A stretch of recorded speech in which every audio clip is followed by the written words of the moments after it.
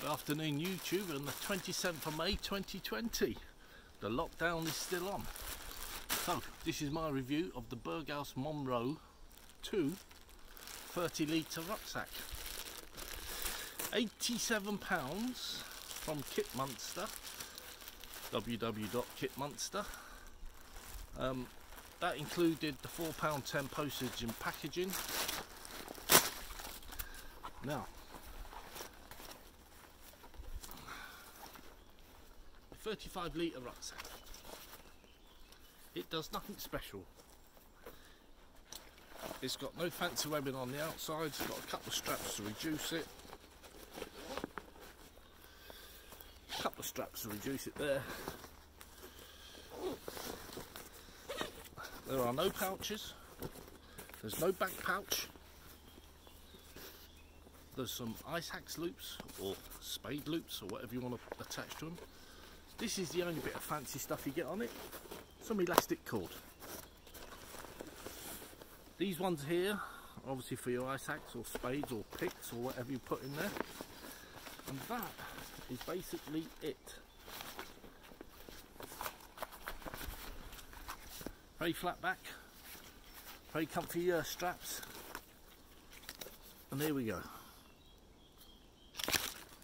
Right, so you may say, how can you review a Munro day sack just straight out the back?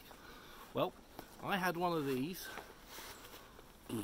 for over 25 years because the first one went to both Gulf Wars. Admittedly, I didn't go to Gulf War 1, the rucksack or the day sack went. I went to uh, Tenerife. The less we say about that, the better. Tenerife, uh, paid for by Her Majesty. But it went to two Gulf Wars, two Yugoslavian tours, SFOR and KFOR, stabilisation for one, can't remember what the K stand for now.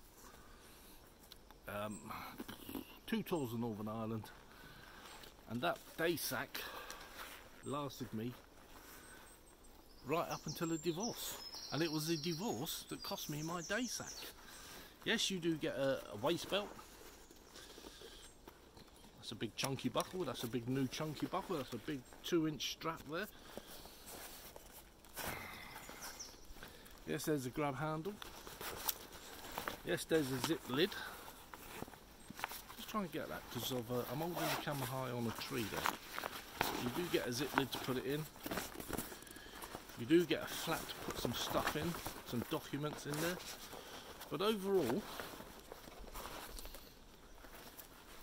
because mine served me so well for 20 odd years, when I lost it in the divorce, it took me 10 years probably to replace it.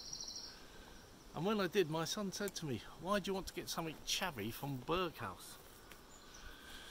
Hardy young. So this will probably outlast me in, in life. Being, bearing in mind it was my 56th birthday on May the 8th this year.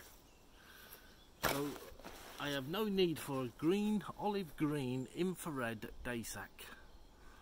30 odd litres.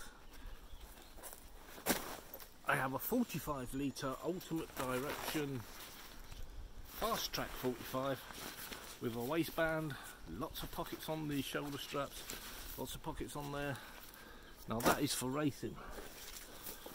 But the Berghaus Munro just does its job. It's just a day sack that opens, puts your stuff in, and you don't lose it. There's a there's a story tomorrow about that. It's very thick. I have parachuted with this, and uh, yeah, it's a bit small for the container, but it does last, and it's never failed me. It took a woman to take it from me there we go. All I can say is the Munro for 87 pounds four pound 10 postage and packaging for Kit Monster is very much worth the deal for what you get.